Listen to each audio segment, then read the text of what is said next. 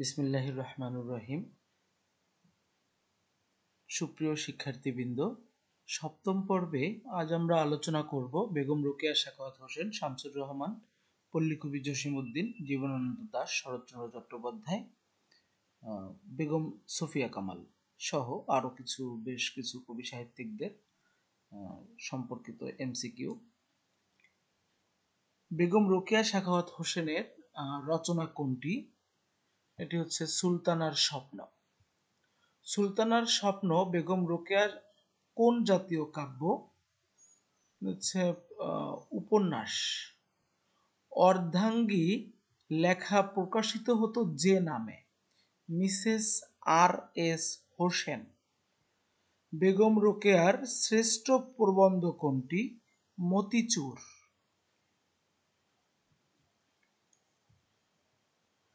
বাংলা সাহিত্যের প্রথম নারীবাদী লেখককে বেগম রোকেয়া শাখাওয়াত হোসেন। বেগম রোকেয়া শাখাওয়াত, বেগম রোকেয়ার কোন গ্রন্থটি ইংরেজিতে লেখা? সুলতানার স্বপ্ন। বেগম রোকেয়া শাখাওয়াত হোসেন এর লিখনী ধারণ করেছিলেন নারীদের কুসংস্কার মুক্ত ও শিক্ষিত করতে।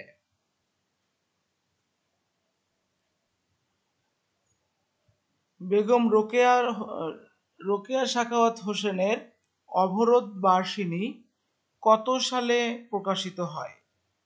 উনিশশো একত্রিশ সালে। কবর কবিতাটি কোন কাব্যগ্রন্থের অন্তর্গত? রাখালি। এগার চাষি নিঝুম রাতে বাঁশের সুরে ওই না গায়ের মেয়ের সাথে গহন ব্যথায় জুড়ে। চরণ দুটি যে রচনার অন্তর্গত, নকশিকাথার মাঠ। এগার চাষি নিঝুম রাতে বাঁশের সুরে ওই না গায়ের মেয়ের সাথে গহন ব্যথায় জুড়ে। নিচের কোনটি জসিমউদ্দিনের নাটক, বেদের মেয়ে। তাম্বুলখানা গ্রামে জন্মগ্রহণ করে করেন কোন কবি? জসিমউদ্দিন। মা যে জননী কান্দে, কোন ধরনের লেখা? কাব্য। কাঁচা ধানের পাতার মতো কচি মুখের মায়া কবি কার প্রসঙ্গে বলেছেন? রূপাই। পল্লীকবি জসিমউদ্দিনের পল্লী গানগুলো কোন গ্রন্থে সংকলিত হয়েছে? রাখালি। কবি জসিমউদ্দিনের ভ্রমণ কাহিনী কোনটি?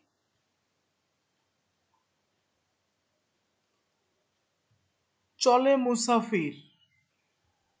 কবর কবিতায় কতটি লাইন আছে? কবর কবিতায় একশো আঠারোটি লাইন আছে। জসিমুদ্দিনের শ্রেষ্ঠ কাহিনী কাব্য কোনটি? নকশিকাথার মাঠ। জসিমুদ্দিনের কোন কাব্যগ্রন্থ বিভিন্ন ভাষায় অনুদিত হয়েছে? নকশিকাথার মাঠ। জসিমউদ্দিন তার বন্ধুকে কোন গায়ে আমন্ত্রণ করেছেন? কাজল গায়ে। ফররুখ আহমেদের শ্রেষ্ঠ কাব্যগ্রন্থের নাম কি? সাত সাগরের মাঝি। মুসলিম রেনেসার কবিকে কবি ফররুখ আহমেদ। সিরাজাম মুনিরা কোন ভাষার রচিত গ্রন্থ? বাংলা। পাঞ্জেরি কবিতাটি কোন ছন্দে রচিত? মাত্রাবৃত্ত। ফররুখ আহমেদ কত সালে ইউনেস্কো পুরস্কার লাভ করেন? উনিশশো পঁয়ষট্টি সালে। মুসলিম রেনেসার কবি কে ফররুখ আহমেদ। শরৎচন্দ্র চট্টোপাধ্যায়ের ছদ্মনাম কি? অনিলা দেবী। শরৎচন্দ্রের কোন উপন্যাসটি সরকার কর্তৃক বাজেয়াপ্ত হয়? পথের দাবি। রাজলক্ষ্মী চরিত্রের স্রষ্টা কে? শরৎচন্দ্র চট্টোপাধ্যায়। শরৎচন্দ্র চট্টোপাধ্যায়ের শ্রেষ্ঠ রচনা কোনটি? শ্রীকান্ত। ষোড়শী শরৎচন্দ্রের কোন জাতীয় রচনা? ষোড়শী শরৎচন্দ্রের নাটক। শরৎচন্দ্র চট্টোপাধ্যায় কে ঢাকা বিশ্ববিদ্যালয় কোন ডিগ্রি প্রদান করেন? ডিলিট। শেষ প্রশ্ন উপন্যাস কে লিখেছেন? শরৎচন্দ্র চট্টোপাধ্যায়। মোহিনী ও কাদম্বিনী কোন বিখ্যাত গল্পের দুই চরিত্র? মেজ দিদি। শরৎচন্দ্রের প্রথম উপন্যাস কোনটি? বড় দিদি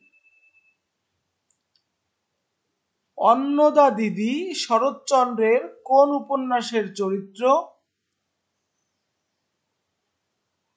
শ্রীকান্ত।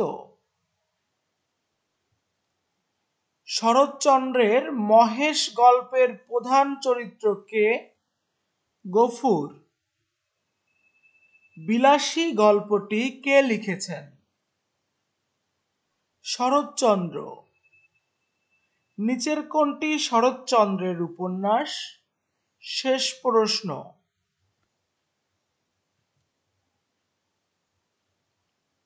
কোনটি আঞ্চলিক জীবন ভিত্তিক উপন্যাস? আরণ্য। পথের পাঁচালী উপন্যাসের লেখক কে? বিভূতিভূষণ বন্দ্যোপাধ্যায়। পথের পাঁচালী উপন্যাসের চরিত্র দুর্গা। অপরাজিত উপন্যাসের লেখক কে? বিভূতিভূষণ বন্দ্যোপাধ্যায়। কোনটি দুর্ভিক্ষ নিয়ে রচিত উপন্যাস? অশনি সংকেত। বাংলা কাব্যের চিত্ররূপময় কবি জীবনানন্দ দাস। জীবনানন্দ দাসকে নির্জনতার কবি আখ্যা দিয়েছেন বুদ্ধদেব বসু। জীবনানন্দ দাশের কাব্যে ব্যবহৃত শঙ্খমালা হল পূর্ব পরিচিতা নারী।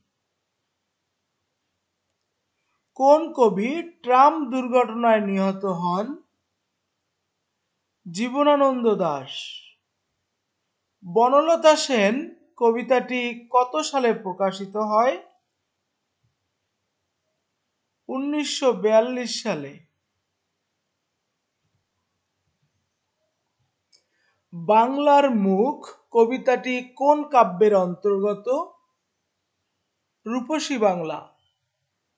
রূপসী বাংলার কবি জীবনানন্দ দাস।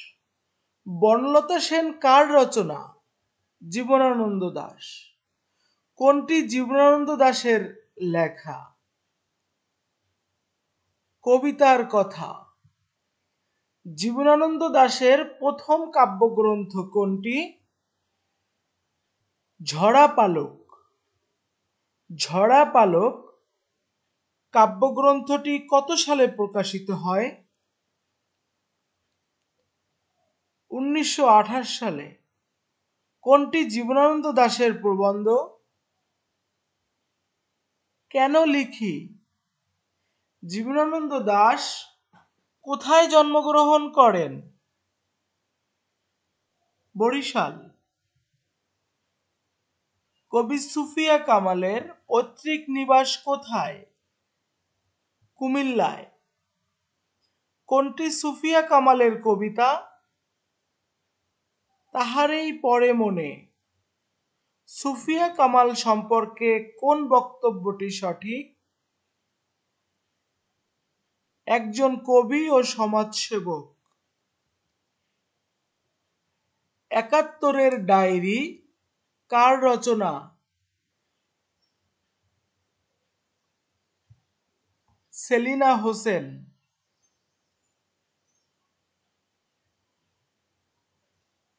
সরি, একাত্তরের ডায়েরি লিখেছেন সুফিয়া কামাল। সাজের মায়া কাব্য কে রচনা করেন? সুফিয়া কামাল। আসাদের শার্ট, কবিতার রচয়িতা শামসুর রহমান। শামসুর রহমান। শামসুর রহমানের একটি উপন্যাস হল নিয়ত মন্তাজ। নিচের কোনটি শামসুর রহমানের কবিতা? আসাদের শার্ট। কোনটি শামসুর রহমানের রচনা? নিরালোকে দিব্যরথ। শামসুর রহমানের একটি উপন্যাস হল নিয়ত মন্তাজ। তুমি আসবে বলে হে স্বাধীনতা কার কবিতা? শামসুর রহমান।